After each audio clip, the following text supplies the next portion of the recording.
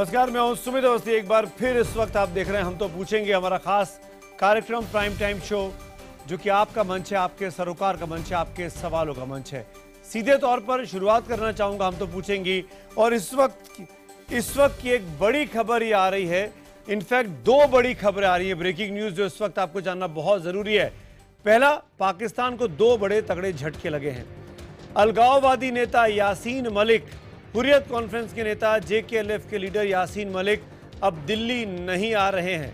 सरकार की तरफ़ से जो दबाव बन रहा था, उसका कुछ असर होता दिखाई दे रहा है। हुरियत कॉन्फ्रेंस में फूट पड़ती दिखाई दे रही है। यासीन मलिक का नाम दिया गया था कि वो दिल्ली आकर पाकिस्तान उच्चायोग से उच्चायोग में सरताज अज़ीज़ के साथ मुलाकात करेंगे। हुरियत की तरफ़ से जो तीन नेता आने वाले थे लेकिन अभी अभी खबर आ रही है कि यासीन मलिक ने इस प्रस्ताव को ठुकरा दिया है और वो अब दिल्ली नहीं आना चाहते। यानी हुरियत कॉन्फ्रेंस में अब एका नहीं दिखाई दे रहा है। सरताज अज़ीज़ के साथ मुलाकात के लिए यासीन मलिक पीछे हट गए हैं। सरकार की एक बड़ी कामयाबी, एक बड़ा सरकार का दबाव आप कह सकते हैं, जिसका एक ऐसा फल होता दिखाई दे रहा है, जिससे कि खुद ब खुद हुरियत के नेता इस ऑफ़र से पीछे हट रहे हैं। और दूसरा बड़ा झटका पाकिस्तान को वो ये कि सीपीए कॉमनवेल्थ पार्लियामेंट्री एसोसिएशन जिसकी बैठक में जम्मू कश्मीर को नहीं बुलाया गया था जम्मू कश्मीर विधानसभा के अध्यक्ष को नहीं बुलाया गया था उसमें 28 में से 27 देश जिनको इस्लामाबाद जाना था इस बैठक में भाग लेने के लिए उन 27 के 27 देशों ने मना कर दिया है। ये सब भारत के साथ खड़े हो गए हैं। और साफ़ कहा है कि इस्लामाबाद में इस कॉन्फ्रेंस में वो शिरकत नहीं करेंगे, जिसमें जम्मू कश्मीर के साथ पाकिस्तान की हुकूमत भेदभाव करती दिखाई दे रही है। हम आपको बता दें कि सीपीए की बैठक में तमाम विधानसभाओं के अध्यक्षों को न्योता दिया जाता है। अलग अलग देश के अलग अलग दुनिया के करीब 28 देश इसके सदस्य हैं। सब अपनी अपनी इस असेंबलीज के नेताओं को इसमें भेजते हैं। न्योता मेज़बान कंट्री की ओर से जाता है और इस बार मेज़बान देश था पाकिस्तान का इस्लामाबाद शहर, लेकिन सबको न्योता दिया गया, सिर्फ़ जम्मू कश्मीर को नहीं दिया गया, जिससे भारत खासा नाराज़ था भारत ने धमकी दी थी कि वो बॉयकॉट करेगा। आपको याद होगा, सुमित्रा महाजन का स्टेटमेंट आया था लोकसभा स्पीकर का। और अंत में, अब भारत का कूटनीतिक दबाव काम आया और सीपीए की इस बैठक में 27 और मुल्कों ने भाग लेने से पाकिस्तान जाने से, इस्लामाबाद जाने से साफ़ इनकार कर दिया है।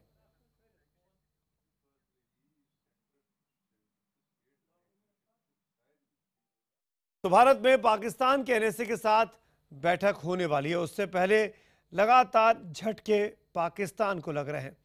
किस तरह से आज दिन भर ये उठापटक चली? कैसे हुरियत कॉन्फ्रेंस को न्योता देकर पाकिस्तान ने भारत को बैकफुट पर डालने की कोशिश की लेकिन अब पासा उल्टा हो गया है क्योंकि हुरियत में फूट दिखाई दे रही है। यासीन मलिक ने इस बैठक में आने से इनकार कर दिया है। देखते हैं पहले दिन भर की ये उठापटक। हम तो पूछेंगे में डिबेट नंबर एक कैसे होगी पाकिस्तान से अच्छी बात? ये वही लोग हैं जो एक तरफ़ दोस्ती की बात करते हैं और दूसरी तरफ़ हर रोज एलओसी के ऊपर हद के वर्किंग बाउंड्री के ऊपर गोलाबारी सिर्फ़ फौजी ठिकानों पे नहीं करते सिविलियन सिविलियन के घरों में भी करते हैं, आम लोगों के घरों में करते हैं। यह है पाकिस्तान के आंतरिक मंत्री चौधरी निसार।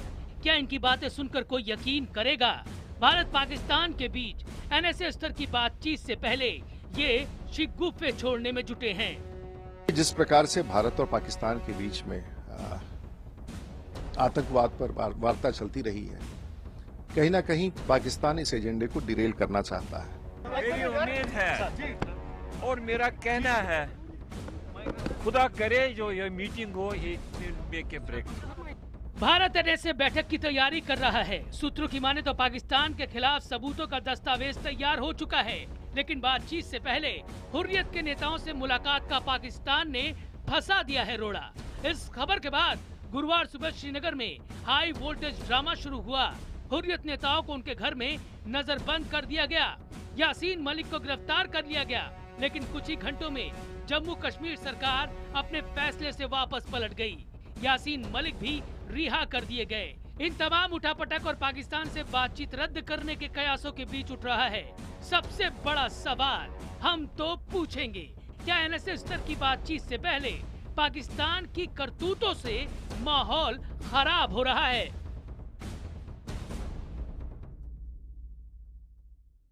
तो आज हम तो पूछेंगे में हमारा सवाल है। एक बार फिर से सवाल दोहराते हैं कि एनएसए स्तर की बातचीत से पहले पाकिस्तान की करतूतों से माहौल खराब हो गया है। अगर आपको लगता है हाँ तो आईबीएन सेवन स्पेस देकर वाई लिखिए। और अगर आपको लगता है ना तो आईबीएन सेवन स्पेस देकर एन लिखिए। अपनी राय हमें पाँच एक आठ एक आठ पर एसएमएस करें। इसके साथ ही हमारे हैशटैग एच टी पी को इस्तेमाल कर कर आप हमारे Twitter handle at the rate I खबर और हमारे फेसबुक पेज आई खबर के फेसबुक पेज पर जाकर अपने सवाल और अपने कमेंट हमको भेज सकते हैं। Hash tag H T P लगाएँ ज़रूर ताकि आपके विचारों को हम ढूंढ कर इस शो के दौरान ज़रूर दिखा सके अपनी स्क्रीन पर, क्योंकि ये मंच आपका है, आपके सवालों का है। मेरे साथ कुछ खास मेहमान जुड़ रहे हैं, उनका परिचय कराता हूँ। भारतीय जनता पार्टी के प्रवक्ता डॉक्टर संबित पात्रा मेरे साथ हैं। हुरियत कॉन्फ्रेंस की ओर से थोड़ी देर में अब्बास अंसारी साहब हमारे साथ जुड़ने वाले हैं। श्रीनगर से पीडीपी के नेता रफ़ी अहमद मीर साहब फ़ोन लाइन पर हैं, और नेशनल कॉन्फ्रेंस के नेता तनवीर सादिक साहब भी इस वक्त फ़ोन लाइन पर हैं। हमारी हमारी जो वीडियो लाइन है, उसमें कोई टेक्निकल फॉल्ट है, इसलिए दोनों लोग इस वक्त हमारे साथ फ़ोन पर मौजूद हैं। इसके अलावा पाकिस्तान से मेरे साथ ख़ास मेहमान के तौर पर जुड़ रहे हैं। पाकिस्तान पीपुल्स पार्टी के सीनियर लीडर नवीद चौधरी साहब।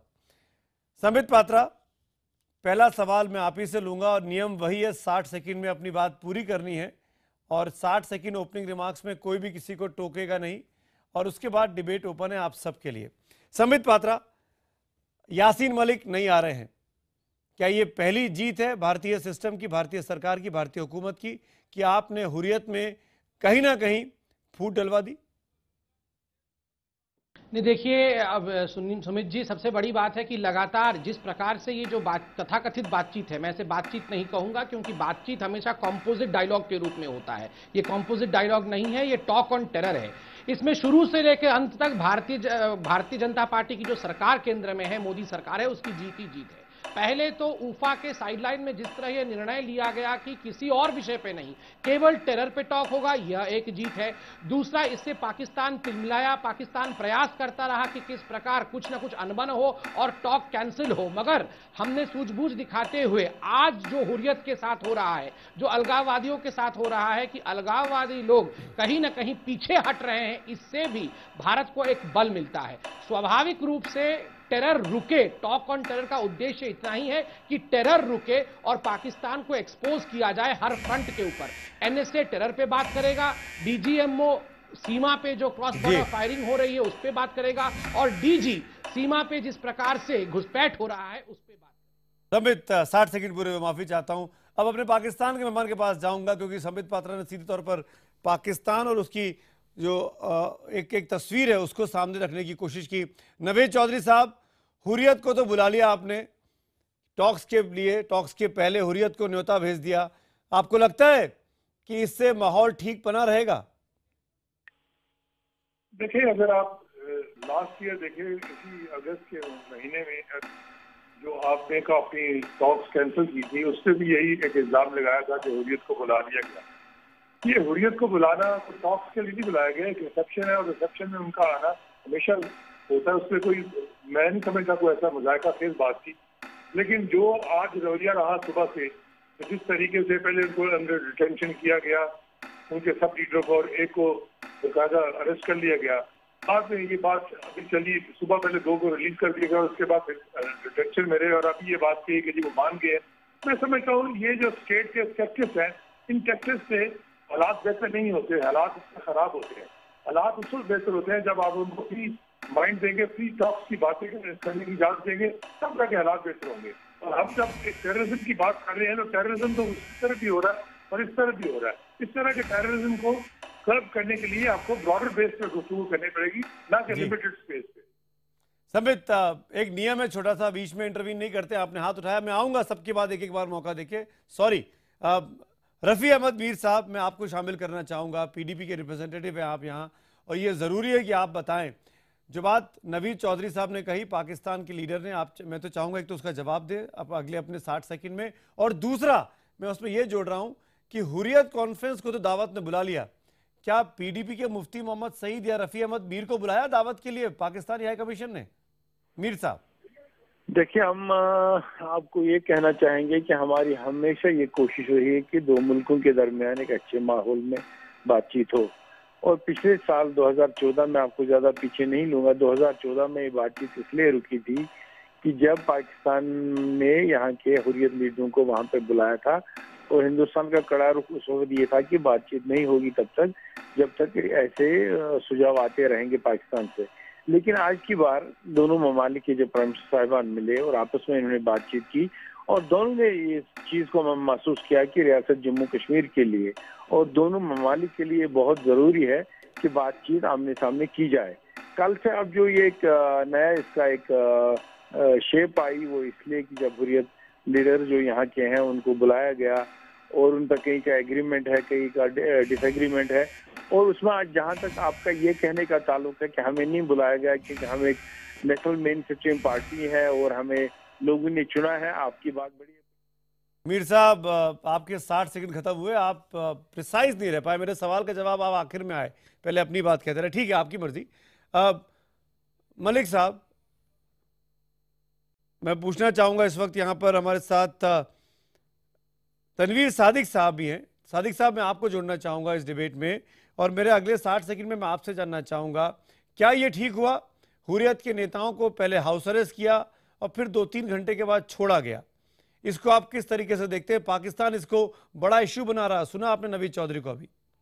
देखिए, आज जो ये अरेस्ट और रिलीज़ हुए हैं, ये जो हुरियत के लीडर इससे बीजेपी ने तीन चीज़ प्रूव किए हैं। एक, ये प्रूव किया है कि जो स्टेट गवर्नमेंट है, वो सेंटर चला रहा है। दूसरा, इनने ये प्रूव किया कि हुरियत को आप अलग नहीं कर सकते हैं टॉक्स से क्योंकि वो जो पिछली साल इनने वो टॉक्स को स्नैप किया था जब वो हुरियत लीडर पाकिस्तान एम्बेसी में चाय पीने गए उस वो सिर्फ़ एक मेयर आई वॉश था। आज वापस उनको रिलीज़ करके बुलाने का मतलब है कि ये सिर्फ़ एक आई वॉश था। और तीसरी चीज़ पीडीपी कुछ भी करेगा कुर्सी के साथ लेने क्योंकि आज ये प्रूव हुआ है कि दिल्ली डिक्टेट के साथ स्टेट गवर्नमेंट चल रही है। नहीं तो आज तक मुझे नहीं लगता है कि कभी भी स्टेट गवर्नमेंट ने हुरियत लीडरों को अरेस्ट किया होगा दिल्ली आने के लिए या पीस टॉक्स को आगे करने के लिए। इसका मतलब है कि ये जो पूरा ये जो खिचड़ी पिक रही, पक रही है, वो सिर्फ़ इस चीज़ को डीरेल करने के लिए है। चलिए, शुक्रिया सादिक साहब। आपके 60 सेकंड के पहले आपने अपनी बात पूरी की मैं डिबेट की शुरुआत करूँगा। अब्बास अंसारी अभी हमारे साथ नहीं जुड़ पाए हुरियत के नेता। जैसे मेरे साथ जुड़ेंगे, उनसे भी हम बात करेंगे। संबित पात्रा, आप नवीद चौधरी की बात का जवाब दीजिए। और आपने हाथ उठाया था आप भी कुछ कहना चाह रहे थे फिर मैं डिबेट की शुरुआत करता हूँ। संबित। नहीं पहली बात तो मुझे इस बार का बड़ा तकलीफ़ हो रहा था और आश्चर्य भी हो रहा था कि जो पाकिस्तान के प्रवक्ता के नावेद साहब कह रहे थे अब पीडीपी के व्यक्ति उससे कुछ अलग नहीं कह रहे थे ऐसा नहीं होना चाहिए। पीडीपी कह रहा हूँ सॉरी एनसी के जो प्रवक्ता हैं उन, उन, उन, उनके प्रवक्ता कुछ अलग नहीं कह रहे थे। जहाँ तक नावेद चौधरी जी का सवाल है मैं तो आपको ऑब्जेक्ट करता हूँ। आप कौन है हमारे देश में किसको हम डिटेन करेंगे, किसको डिटेन नहीं करेंगे? ये हमारा विषय है। हमने जो किया सेपरेटिस्ट के साथ, वो हमारा काम है। आप इसमें दखलंदाजी क्यों दे रहे हैं? दूसरी बात, शिमला एग्रीमेंट और लाहौर डिक्लेरेशन के अंतर्गत कोई थर्ड स्टेक होल्डर नहीं है जो कि इन बातचीतों में अपना टांग अड़ा सकता है। स्वाभाविक रूप से अगर सेपरेटिस्ट से कोई बातचीत करनी है तो वो हिंदुस्तान की सरकार करेगी। आपकी सरकार उन्हें न्योता देकर उनसे किसी प्रकार की बातचीत नहीं कर सकती है। मगर एक लार्जर पिक्चर यह उभर। के आ रहा है कहीं ना कहीं पाकिस्तान एक बैक ट्रैक कर रहा है। पाकिस्तान में एक फ्रस्ट्रेशन है क्योंकि पाकिस्तान ये रियलाइज़ कर रहा है कि तमाम ड्रोजियर्स प्रेजेंट किए जाएँगे एविडेंस दिए जाएँगे जिससे वो विश्व में एक्सपोज होगा। बिल्कुल। संबित नवीद चौधरी साहब जवाब देना चाहेंगे आपकी बात का। नवीद साहब जवाब दीजिए फिर अब्बास अंसारी मेरे साथ जुड़ गए नवीद साहब। देखिए जी ये ये बात इनकी कहनी कि हम कौन है इसमें इंटरफेरेंस करने वाले? बिल्कुल हमें इंटरफेरेंस नहीं करनी। लेकिन Kashmir is a disputed issue और वहाँ के जो हालात है वो जी चौधरी साहब। फ़ोन लाइन चौधरी साहब सुन पा रहे हैं आप हमको? वो भारत का अभिन्न अंग है। ये आप अपने मन में डिस्प्यूट हटा दीजिए। नवीद चौधरी हमारे साथ नहीं है, लेकिन इट्स अ फैक्ट कि नवीद चौधरी, आप सुन पा रहे नवीद चौधरी, आपका, आपकी आवाज़ नहीं मिल पा रही है, आपका ऑडियो नहीं मिल रहा, मैं आपका वीडियो देख पा रहा हूँ स्काइप पे। मैं चाहूँगा कि आप अपने सिग्नल को एक बार चेक कर लें। तब तक मैं अब्बास अंसारी साहब आपके पास आऊँगा। अंसारी साहब, क्या आप मुझे सुन पा रहे हैं? अब्बास अंसारी लीडर हुरियत कॉन्फ्रेंस क्या आप मुझे सुन पा रहे हैं? बस बताइए, क्या पूछना है? मैं तो सीधी सी बात यही पूछना चाह रहा हूँ कि यासीन मलिक तो अब नहीं आ रहे हैं। आप लोग आएँगे?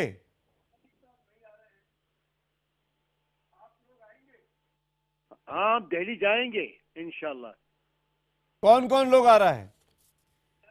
कब जाएँगे देखेंगे कब जाएँगे। जाना तो ज़रूरी है क्योंकि दावत आ गई है।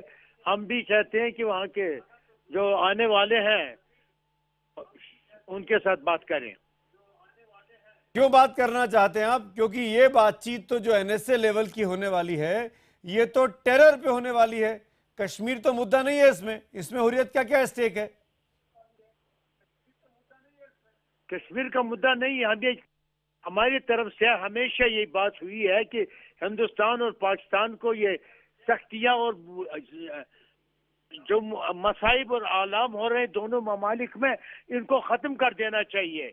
उसके लिए हम उनकी मदद करना चाहते हैं कि हम कहते हैं कि आप आप अगर बात करना चाहते हैं तो पहले आप आपस में ताल्लुकात उसवार करें ताकि फिर हम आपसे बात कर सकें। अरे क्यों माने अब्बास अंसारी साहब, हम हुरियत की बात को हुरियत के जो लीडर्स में ये तस्वीर दिखाना चाहूँगा, ज़्यादा पुरानी नहीं है। ये देखा होगा हिंदुस्तान के लोगों ने, दुनिया के लोगों ने। इस तस्वीर में आप अगर देख पा रहे हो आई बी सेवन को तो इसमें यासीन मलिक साहब, हाफिज सईद के साथ मंच शेयर कर रहे थे। ज़्यादा पुरानी तस्वीर नहीं है, फरवरी 2013 की तस्वीर है। जब हुरियत के लीडर आतंकियों के साथ बैठेंगे, वो आतंकी जो मास्टरमाइंड रहा हो मुंबई का, पार्लियामेंट अटैक का, ऐसे हुरियत के साथ क्यों भारत की सरकार चाहेगी कि पाकिस्तान बात करे? मैं हमेशा मेरा हमेशा ये अकीदा रहा है कि बातचीत होनी चाहिए। बाम मकसद और बामाने बातचीत होनी चाहिए। और ये जो लोग नहीं तो अगर पाकिस्तान को बात करनी है तो पीडीपी और नेशनल कॉन्फ्रेंस से बात करें ना जो वहाँ की रूलिंग जो वहाँ की पार्टियाँ हैं। आपका क्या स्टेक है हुरियत कॉन्फ्रेंस का? मेरी आप, आपकी बात ही समझ नहीं आती क्या कह रहे हैं आप। मैं बहुत सीधी सी बात कह रहा हूँ अंसारी साहब। अगर पाकिस्तान को किसी पॉलिटिकल पार्टी से बात करनी है तो पीडीपी हो गई नेशनल कॉन्फ्रेंस हो गई बीजेपी हो गई कांग्रेस हो गई इनसे बात करे पॉलिटिकल लीडरशिप से बात करे हुरियत कॉन्फ्रेंस क्या पॉलिटिकल पॉलिटिकल पार्टी है क्या? ये तो उसका अपना अपना मकसद है कि किससे वो बात करेंगे किससे नहीं बात करेंगे। लेकिन करनी तो हमने बात है क्योंकि हम इस मसाइब और इस जो मुसीबतें और शक्तियाँ हम हम बर्दाश्त करते हैं और आज से ही नहीं सनते सैतालीस से हम दोनों तरफ़ से जी। दोनों तरफ़ से चाहे वो पाकिस्तान की तरफ़ से आज़ाद जैसे आज़ाद का कहा जाता है या अरे काय का आज़ाद? पूरा कश्मीर वो पूरा हिस्सा हमारा है पाकिस्तान का भी नहीं है। देखिए देखिए ये कुछ ऐसे लोग हैं जो जिस थाली में खाते हैं, उस थाली में छेद कर देते हैं। ये खाते कहीं का है, गुणगान कहीं का करते हैं। और इनको हिंदुस्तान ने नकार दिया है, इनको तो कश्मीर की जनता ने भी नकार दिया है। जब 70 प्रतिशत कश्मीर की जनता आके वोटिंग करती है, जमहूरियत में भाग लेती है तो अब्बास अंसारी जैसे हुरियत के नेताओं का क्या वजूद रह जाता है? ये केवल अपना वजूद बनाने की कोशिश कर रहे हैं, अपना गाना खुद ही गा रहे हैं। उससे होना जाना कुछ नहीं है। दिल्ली आना चाहते हैं, उन्हीं का मुल्क है। आए दिल्ली, लाल किला घूमे दिल्ली हाट में घूमे चाट पकौड़े खाएँ और घर चले जाए। ये मत सोचिए कि आप पाकिस्तान के जो गेस्ट आने वाले हैं उनके साथ बैठ के बिरयानी खाइएगा और हिंदुस्तान के विषय में बात करिएगा। ये नहीं होने वाला है। आइए दिल्ली। दिल्ली हाट इत्यादि है अच्छी अच्छी जगह यहाँ घूमिए। चाट पकौड़ी अच्छी मिलती है चांदनी चौक में ज़रूर खाइए। तनवीर सादिक मैं आपको जोड़ना चाहूँगा। फिर रवि चौधरी में आता हूँ आपके पास। तनवीर सादिक क्या हुरियत की बातचीत ज़रूरी है? क्या मेरा अकीदा यह है कि हिंदुस्तान और पाकिस्तान भाई भाई बनकर रहे। न वहाँ पर तबाही बर्बादी हो जाए और यहाँ पर तबाही बर्बादी हो जाए। यही वजह है कि जब मैंने सारी साहब ये बात पाकिस्तान को समझाइए ना। ज़िंदा सबूत है हमारे पास नवीन नाम का। कसाब को देखा था हम लोगों ने क्या कर रहा था वो मुंबई में? ज़िंदा सबूत। अंसारी साहब ये पाकिस्तान के हुक्मरानों को समझाइए ना ये बात। नवीद चौधरी को समझाइए कि हिंदुस्तान में आतंक न फैलाए। समझाते हैं आपको भी हम समझाते हैं। नवीद चौधरी। खत्म कर दिया जाए यहाँ पर भी कत्ल अरे आप पहले तो चुनाव लड़िए अंसारी साहब। अंसारी साहब पहले हुरियत कॉन्फ्रेंस को बोले कि चुनाव लड़े। खुद समझ जाइए। पहले चुनाव लड़िए आप लोग। देखिए कितने जाइए लोग कि वोट आपका पीछे खड़े आपके। नहीं है। सत्तर प्रतिशत लोगों ने नकार दिया तो खुद पहले समझ जाइए ना बाद में बाकियों को समझाते फिरिएगा। तनवीर सादिक और मीर साहब मैं आप दोनों को लेके आना चाहूँगा स्क्रीन पर। तनवीर सादिक मेरा सवाल आपसे है। हुरियत को बातचीत में शामिल करना चाहिए थर्ड पार्टी के तौर पर भारत पाकिस्तान के बीच में ज़रूरी है क्या? देखिए देखिए जब भी बात हुर्रियत की है, कॉन्फ्रेंस को आप नकार नहीं सकते। अगर उनको उनका रिप्रेजेंटेटिव कैरेक्टर दिखाना है उसके लिए उनको पहले ऑन बोर्ड लाना है उनके साथ डिस्कस करना है डायलॉग देना है उसके बाद उनको कहेंगे कि आप अपना प्रूव कीजिए मेजोरिटी मेरा सबसे बड़ा प्रॉब्लम ये है संबित पात्र जो इतना चिल्ला रहे हैं बड़े बड़े आवाज़ में मुझसे ये ये और मीर साहब से मैं एक सवाल पूछना चाहता हूँ आपने इनको अरेस्ट क्यों किया? और अगर अरेस्ट किया तो फिर रिलीज़ क्यों किया? और अगर यही है तो फिर आपके जो प्रधानमंत्री हैं वो क्यों ऊफा में डिस्कस करते हैं? वो क्यों सारी डिप्लोमेसी करते हैं? ये सारी डिप्लोमेसी किस लिए है? अगर ये मज़ाक आपके प्रधानमंत्री कौन बोल रहा है? if they are hoodwinking the people मुझे एक सवाल संबित पात्रा से करना है कि ये आप सुमित ये नावेद बोल रहे हैं या नेशनल कॉन्फ्रेंस के लीडर बोल रहे हैं? ये तनवीर सादिक साहब है नेशनल कॉन्फ्रेंस के प्रवक्ता हमारे साथ। संबित पात्रा आपकी बात आपके तो तो ये हमारे प्रधानमंत्री नो ये हमारे प्रधानमंत्री को आपके प्रधानमंत्री क्या कह रहे हैं? उनके प्रधानमंत्री नहीं है क्या ये? बिल्कुल है। अगर आप तो कश्मीर इशू को करेंगे तो तो फिर- नहीं? हर किसी का है। जब प्रॉब्लम आपके नहीं नहीं नहीं नहीं, क्या मतलब पाकिस्तान को लगता है कि अपनी हरकतों से बातचीत को विषय से वो भटका सकता है। ये उसकी भूल है। यानी पाकिस्तान कितने भी कोशिश कर ले बातचीत रास्ते से नहीं भटकेगी। वार्ता का माहौल खराब हो चुका है। अब राजनीतिक पैंतरे चले जा रहे हैं। सुशील लिखते हैं अपने ट्विटर हैंडल पर हमारी इस डिबेट के बारे में। अब बारी है एसएमएस पोल्स की, वो आपको दिखाता हूँ। हमने आपसे आज सवाल पूछा था कि क्या एनएसए स्तर की बातचीत से पहले पाकिस्तान की करतूतों से माहौल खराब हो गया है? 91 परसेंट, इक्यानवे फ़ीसदी लोगों ने हाँ में जवाब दिया है। केवल 9 फ़ीसदी लोग ना में जवाब देते, नहीं, मैक्सिमम आईबीएन सेवन का दर्शक वर्ग ये कहता है कि पाकिस्तान ने इस माहौल को खराब कर दिया है कि आज रेड एफएम के श्रोताओं से भी हमने भारत पाकिस्तान और हुरियत के इस एंगल के बारे में सवाल पूछा था। क्या रिपोर्ट लेके आई है हमारे रेड एफएम की आरजे काव्या? यही सवाल जब हमने रेड एफएम के लिसनर्स से पूछा तो कोमल ने हमें जवाब दिया कि हमने इस बार भी उनके स्वागत में खाब गुलाब और जज्बात सजाए। बदले में उन्होंने गोला बारूद और बंदूक बरसाए। हम बात करने बस लेकर लाहौर गए तो उन्होंने हमें करगिल का तोहफा दे दिया। हम यहाँ पंद्रह अगस्त की तैयारियों में बिज़ी थे तो पंजाब में और जम्मू कश्मीर में न जाने कितनी माओ को रुला दिया। अगर उनका यही तरीका है तो हमें भी तरीका बदलना चाहिए। और इस बार तरीका वो हो, जो पूरे हिंदुस्तान को मंजूर होना चाहिए। इस बार इश्क हो या जंग हो, दोनों भरपूर होना चाहिए।